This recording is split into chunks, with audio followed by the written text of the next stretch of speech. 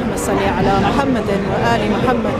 Here I am on Oxford Street, uh, one of the supposedly busiest streets in the world during the major lockdown in the UK. And as you can see, it's quite empty. All the stores are closed. It's just a little bit of uh, traffic. People out and about walking and uh, some rickshaws as well, blasting out their music. This is it. This is Oxford Street. This is the centre of the worship of material goods, and these are the temples dedicated to the acquisition of the glitz and glamour of this worldly life. You can hear someone behind me doing some kind of preaching. He's talking about Jesus, so let's go and see what he's got to say. He's the beginning and the end, the Alpha and Omega. Jesus said, I have prepared a place for you. Jesus has prepared a place for each and every one of us. The Bible says the will of God is that none of us will be perished. None of us will be lost. Hallelujah. None of us will be destroyed. But we are all be saved. Hallelujah. And that's why Jesus Christ came. He came to save that which was lost. Ladies and gentlemen, mankind was lost. Hallelujah. Mankind was lost, and that's why Jesus Christ, to redeem mankind from the power of the devil. Hallelujah. The devil received authority from men. Once, once men. Not quite sure who he's preaching to because there's nobody around. Jesus Christ came to redeem that which was lost. Hallelujah. Jesus Christ came, and by his I guess he's learned some kind of style of preaching that he's trying to implement here. This is it, everybody.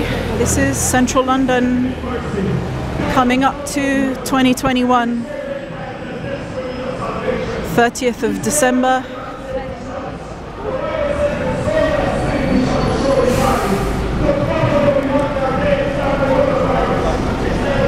Wonder how long this will all last. The centre of money laundering, despotism, wealth grabbing. This is where it is. Oh, someone's name coming up on these flashing lights. He was called Anis Ali. Look at that, right in the middle of Oxford Circus the name of Ali appears. And these are the rickshaws that run around this area picking people up. They're not going to have many customers at the moment.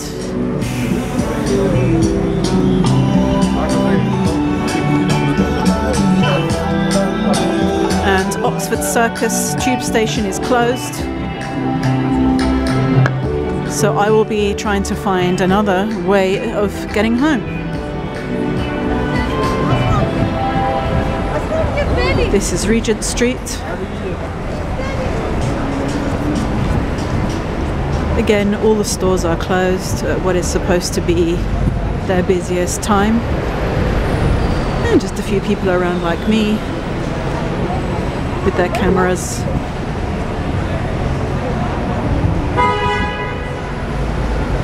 Pretty much empty.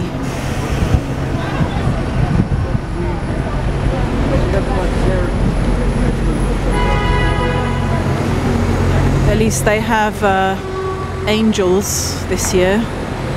There was yet one year where they were just advertising a soft drink, which again epitomized to me what has happened to this culture. All of this has been built on borrowed money and borrowed time, but particularly borrowed money. This is something I want people to know who watch this. This wealth that you see is built, is built on debt. People have a house or a car, it's mainly because they've borrowed thousands of pounds and now the crunch is going to come and they're not going to be able to pay it back. This is how people get enticed into aspiring for a certain lifestyle. This is where it all happens. Advertising, advertising, and encouraging us to aspire.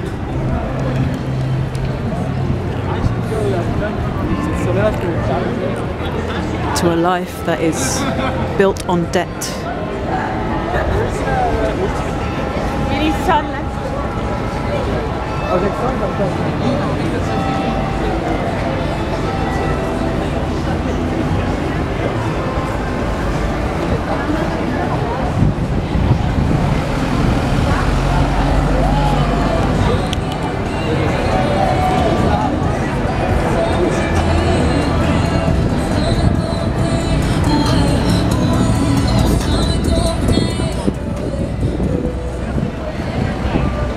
I just uh, can't resist making people wait for me to cross the road, especially if they've got a big flash car.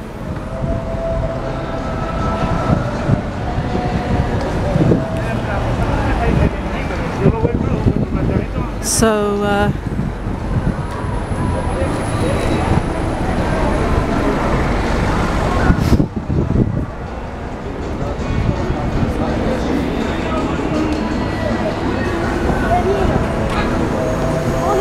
allow this system to influence your mood, your mind, your fears, your hopes. Don't allow this system to convince you that this is what is real and this is what life is all about. We have a whole other way of thinking, a whole other way of being, and we are connected to the ultimate divine light. That is the ultimate power to which we are going to return after all this is going to disappear. All this will be destroyed and come to an end. Hold on to that peace within your heart. Don't let all of this fool you. Everybody from around the world who might be watching this, don't be fooled by this illusion of London, of UK, of seeming wealth. Don't be fooled by it, please. You as a human being have much greater worth than all of this. Allahumma salli ala Muhammadin wa ali Muhammad.